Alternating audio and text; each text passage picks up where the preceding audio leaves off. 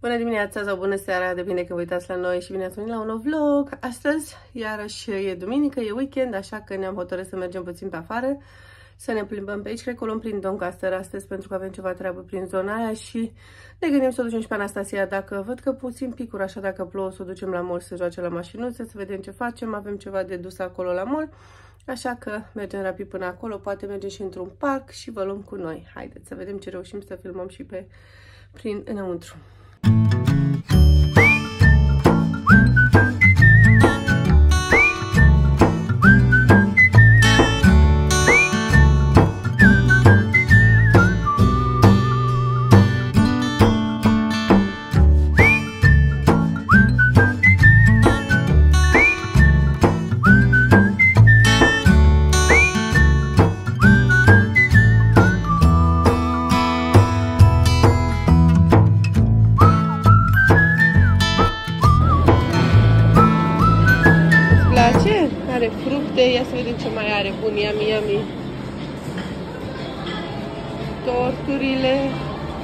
Dar după aia, mami, da? După aia, hai.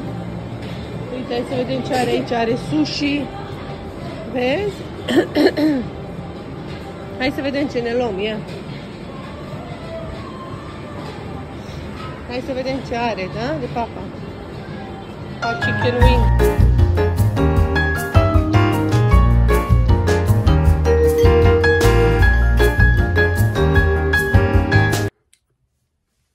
Da, bună dragilor, am zis să mai vorbim puțin. Nu am pregătit un vlog lung pentru voi sau niciun daily vlog, de aceea am zis să povestim puțin. Weekendul acesta, soțul meu a avut ideea să ne uităm la filmul nunții noastre, vineri seara, nu știu, nu l-am mai văzut, el zice că nu l-a văzut niciodată. Eu mă amintesc că l-am mai văzut un pic acum la început, imediat ce l-am primit. Bine că nunta a fost în 2019 și ei ne l-au dat mai târziu cu un an aproape, dar um, în fine, am zis hai să vedem dacă îl găsesc pe laptop, nu mai știam dacă l-am, știam că l-am pe DVD-uri. Și am găsit filmul și ce distracție s-a pornit în seara aceea pe Anastasia și pe noi pentru că ne-a plăcut foarte mult reacția ei.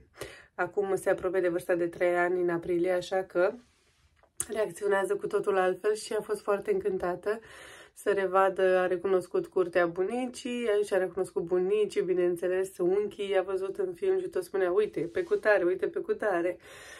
Și da, era impresionată pentru toată lumea, era îmbrăcată frumos și încerca ea să înțeleagă ce se întâmplă și m-a întrebat unde eram eu și am spus că tu erai la mami în burtică. și cea mai tare reacție a fost că s-a uitat de ce s-a uitat acolo, prim, știți cum începe filmul la o nuntă, prima oară cu mirele la el acasă, cu pregătirile, a văzut pe taică că îl bărbărește, îl albește tot și râdea. Uh, și zicea că îl face Moș Crăciun și apoi, bineînțeles, că a observat că e la mama lui acasă, adică la bunici acasă și a zis că ea mai vrea să meargă la ei acolo în curte, dar nu mai vrea la mine în burtă, să nu mai pun în burtă.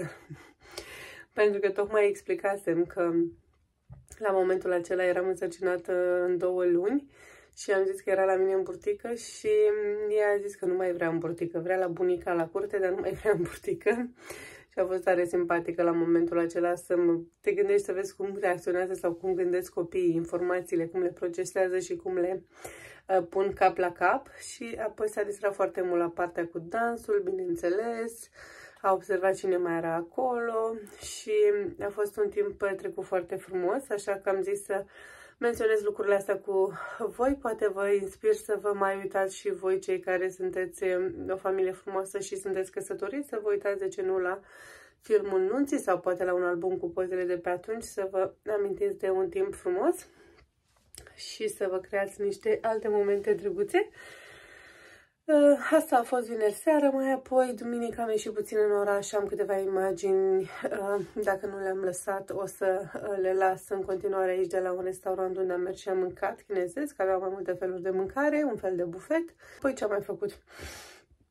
Apoi am, ne-am mai plimbat prin mall, deci n-am filmat prea mult în ziua respectivă, pentru că și Anastasia era mofturoasă și nu înțeleg de ce, dar vrea doar în brațe și mm, cam asta a fost ziua.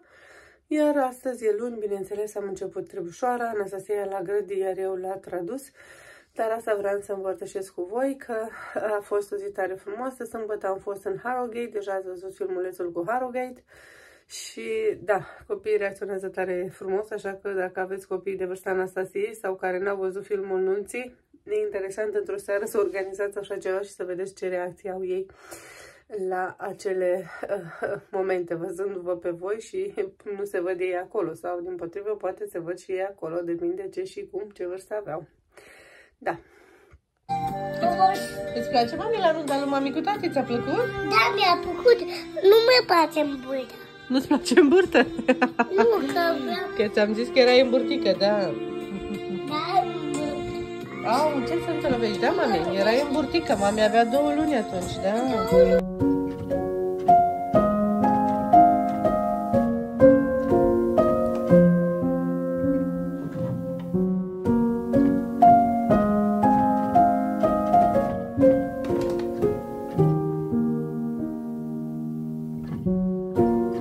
Și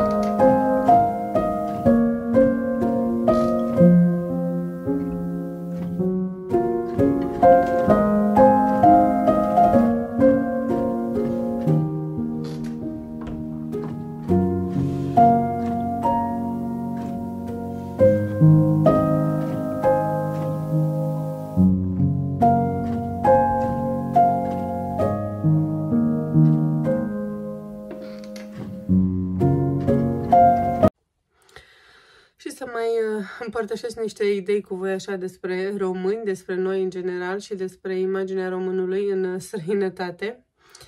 Um, prin aceste traduceri observ că unii oameni de la anumite instituții vor cu tot uh, din adinsul să știe exact cine e persoana cu cine vorbește. De exemplu, am avut pe cineva care aplica, cred că, pentru Universal Credit sau ceva de genul acesta și uh, Persoana respectivă l-a întrebat despre etnicitate, l-a întrebat apoi ești român sau ești roma. Adică probabil se referea dacă ești român sau dacă ești rom. Și de, de cât timp fac eu traducerile astea, nu e de mult timp, dar am mai avut telefoane similare cu acesta de zile trecute, dar niciunul care să întrebe așa la modul acesta și mi s-a părut puțin așa o discriminare, dar uh, cine știe, el a zis că trebuie să noteze acolo și a întrebat. Uh, bineînțeles că uh, clientul, cum ar veni românul în cauză, s-a simțit puțin așa ofensat și a zis nu, român. N-a înțeles nici el rostul întrebării și da, asta e un, e un, unul dintre mesajele pe care vreau să vi-l transmit. Uh, de altfel, din ce vă mai pot da ca informație generală, la momentul ăsta în Anglia am observat și la știri se spune că unele medicamente sunt retrase de pe piață din cauza efectelor secundare, iar uh, doctorii spun că la momentul acesta este un uh, virus sau un bug, cum spun ei, este un virus printre copii iarăși de diarie și vomă și să fiți atenți pentru că este uh, cum ar veni peste tot, este des întâlnit și sunt multe cazuri de genul acesta. și cam astea sunt impresiile despre muncă. Îmi place foarte mult traducerile acestea pe care le fac la momentul acesta, pentru că tocmai din acest motiv întâlnești oameni din medii diverse și din uh, instituțiile statului diverse, de la doctor, de la instituții publice, deci tot felul de povești de viață, întâmplări și, uh, bineînțeles, e interesant și v-am zis, unele dintre ele te ajută cu informații precise, poate din altele înveți o uh, lecție de viață, uh, poate altele te inspiră sau poți să-i ajuți pe altcineva prin intermediul lor. Uh, și, da, haideți să vă arăt ce cer frumos să vedeți la noi. Ia uitați! Nu știu dacă e frumos sau dacă sunt niște nori de ploaie, cred că urmează, pentru că și ieri a plouat toată ziua. Dar, da, e frumoasă imagine. Așa că dacă aveți întrebări sau comentarii pentru mine, vi le aștept foarte uh, cu mare drag în comentarii să le scrieți, să le lăsați și până data viitoare vă doresc să fiți buni la suflet, să aveți parte numai de lucruri frumoase și noi ne vedem curând, popici!